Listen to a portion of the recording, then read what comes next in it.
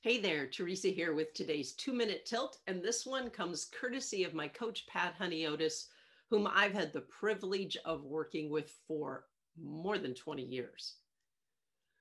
And more times than I can count over those 20 years, Pat has reminded me of a truth in a way only Pat can.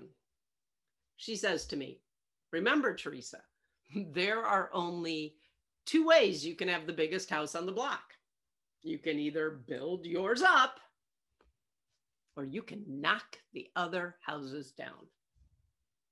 Now, the reason she keeps reminding me of that is because more often than I like to admit, I've spent much of my life trying to make myself feel bigger, better, important enough by knocking other people down, overtly or covertly, criticizing, judging, fault finding, nitpicking, correcting. Somehow, if I can put them down, that's going to have me feel better.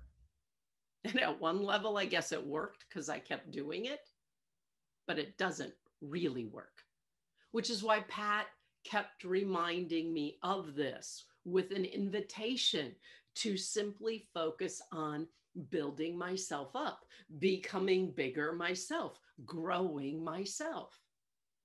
Now, that alone for me, when she first started telling it to me, was a tilt.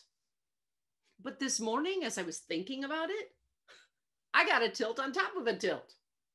That's what I want to share with you. It came in the form of a simple question. So, why do I need to have the biggest house on the block?